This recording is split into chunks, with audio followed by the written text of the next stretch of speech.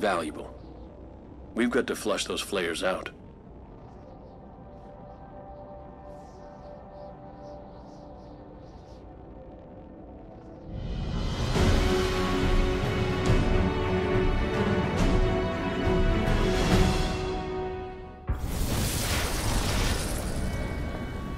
According to Vanguard reports from Cayde, the Psion Flayers are already at the top of the Dust Palace.